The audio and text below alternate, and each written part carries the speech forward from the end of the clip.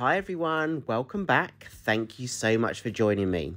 Okay, so I'm using a 20 by 20 inch canvas and the video that I did previously was a rainbow swipe on a black and white swirled background.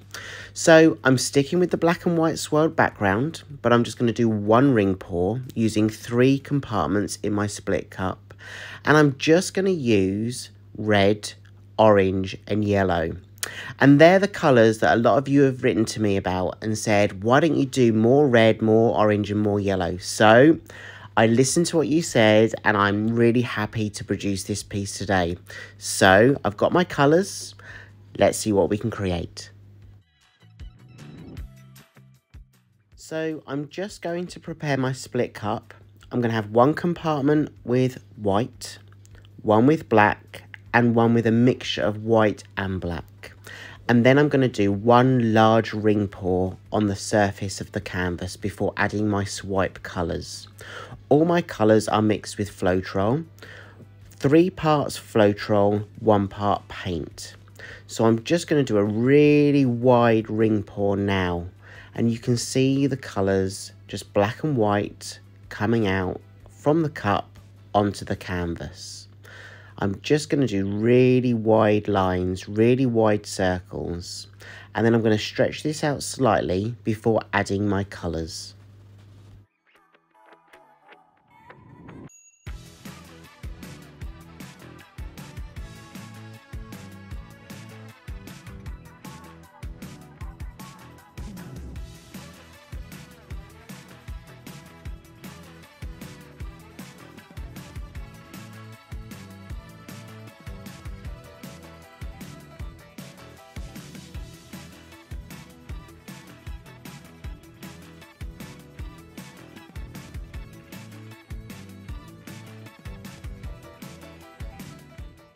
Now my centre's a little bit dark, so I'm just going to use the leftovers from the cup because there's more white in my cup. And I'm just going to add in a little bit more detail just in the middle, just to increase those lines. So when I stretch it out, there's some more detail in the middle of the creation.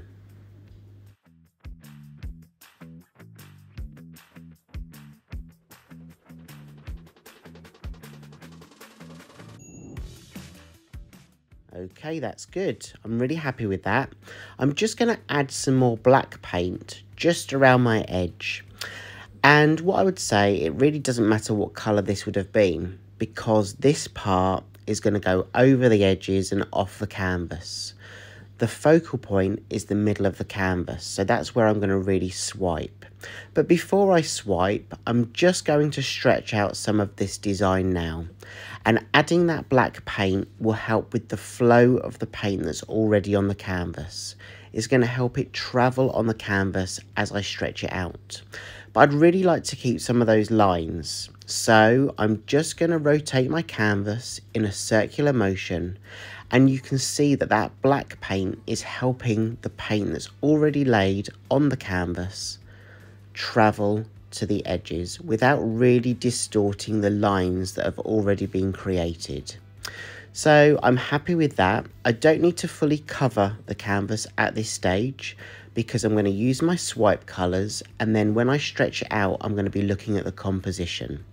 So I'm going to take one colour at a time there's only three colours that I'm swiping with.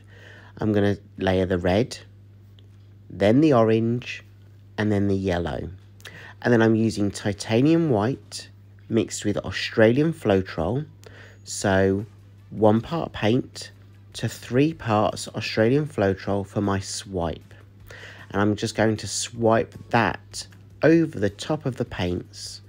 I'm going to use my spatula, or palette knife shall I say, I'm going to cover my palette knife in the titanium white mixed with Australian Floetrol. And then I'm going to take my palette knife and I'm literally going to rest it on top of those colours. And I'm going to just glide it across that paint. I'm not pressing too hard. This is literally just gliding across on top of the paint that's already layered. I'm not pressing too hard because there's no need to.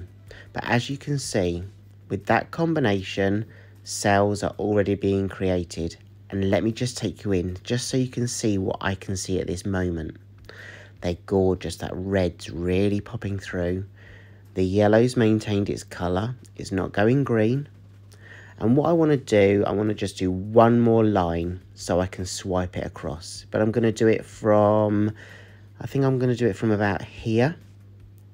I'm going to layer my colours one at a time and then I'm going to swipe down.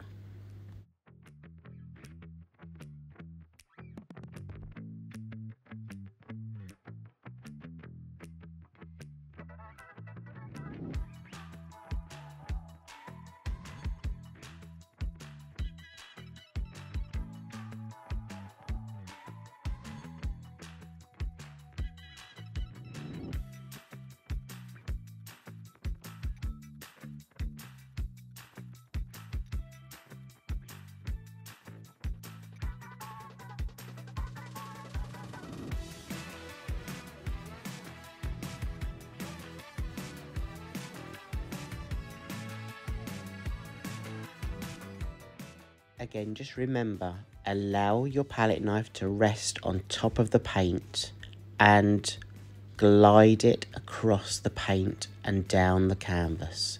Don't press too hard at this stage and you can see all those cells already creating and popping through. Don't worry about the edges because they're going to be tipped off the canvas when we stretch out the design and really look at the composition and the creation and the pattern that you want to create when you're stretching it out.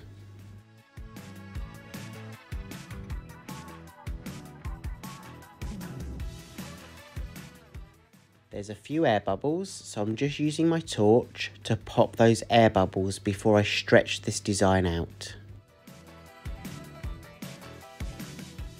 Okay, so the fun part. And what I would say, if you watch me regularly, I always say this, don't rush. Just be in the moment of your creation, connect with that piece, and just take one edge at a time. You'll see that I'm tilting it back and forth, back and forth. And I'm doing that because I'm almost walking that paint across that canvas without it kind of folding over on top of each other and creating like a muddy creation. And then when I'm happy with one of the edges, I rotate my canvas and I then start looking at the other edge. I'm not really in a rush with this. I want to be able to have a good balance of the colours. I really want to showcase the red, the orange and the yellow with a combination of the black and white swirls. So I'm just taking one edge at a time, moving the paint back into the middle of a canvas and then stretching it out again and you can really feel the weight of where that paint is when you're holding that canvas straight. And I do that several times. I tip it up to move the paint and then back again on itself to bring the paint back into the canvas, into the centre, to allow me to move it to other areas of that canvas, tilting it side by side, walking that paint as I go. And then I rotate the canvas and then focus on the other edge. So what I would say is I do this until my canvas is fully covered on the surface and then I'll look at the detail. So you can see on your screen now, the left hand side, the bottom of that corner is a bit muddy. I don't really like it. So I'm intending to tip that completely off. It's not muddy, but it's just not, it's not the kind of the pattern that I really want.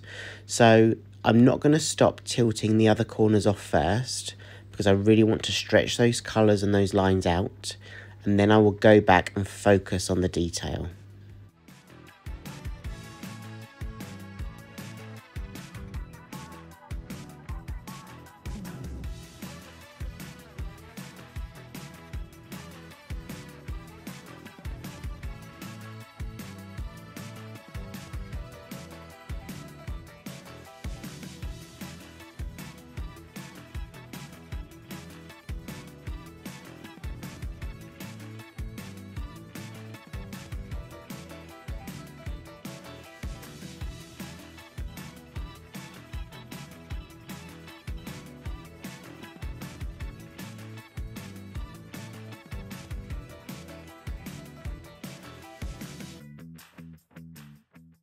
Okay, so I'm really happy with this. I'm just going to stretch this over.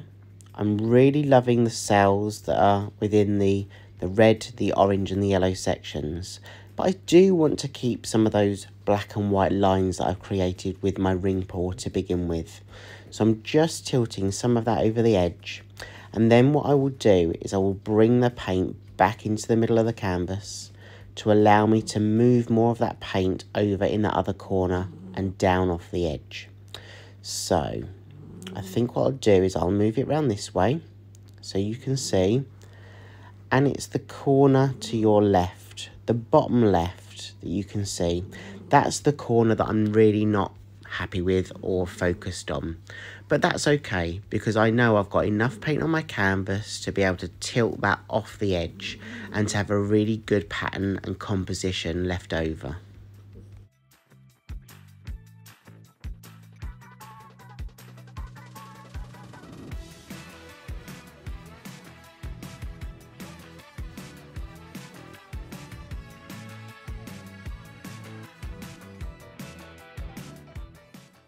Again, just to emphasize, don't worry about rushing it.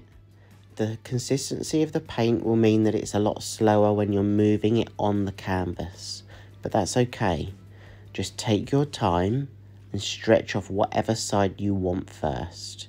As I said, my intention is to move that corner completely off, just to expose a little bit more of those black and white lines. And then I will place my canvas down and really step back and look at that design and if I'm happy with it, then I'll stop. If not, I will stretch it out even more.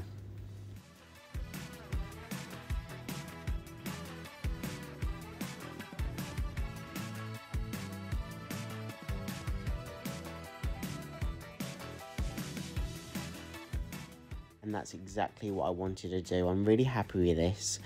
But you know what? I forgot to film a close-up of the wet version but I do have my dried version here so you can see exactly how it dried and exactly how we've managed to create a balance of lacing and lines. And that red is just gorgeous because those cells and those lacing just pop through all of those colours. And I'm really happy with the balance of the black and white. I wanted the focus to be just those three colours of red, orange and yellow and I think I've achieved that by the balance of the black and white lines and then the colours of the lacing. Let me know what you think in the comments below and what other colour palette shall I use using this same technique. Thank you so much for joining me this week. I hope you have a great week ahead. Be kind to yourself and I hope to see you again in the next video.